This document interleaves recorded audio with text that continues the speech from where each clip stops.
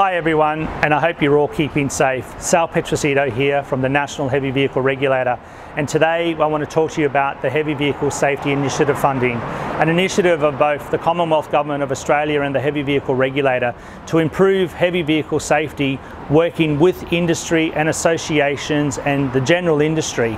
Over the last four years, 89 projects, $23 million has been allocated to improving heavy vehicle safety across our industry. As we all know, heavy vehicle safety is, everyone is everyone's responsibility, and this is a fantastic initiative. Today, we want to talk about one such initiative which deals with container safety and loading practices. As we know, freight will continue to grow.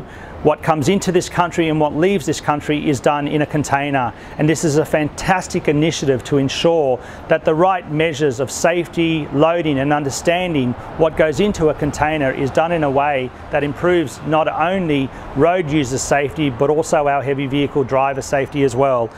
$140,000 was allocated to deliver a fantastic set of informational videos, training material which will help improve heavy vehicle safety and the utilisation of containers in the supply of goods and services in this country.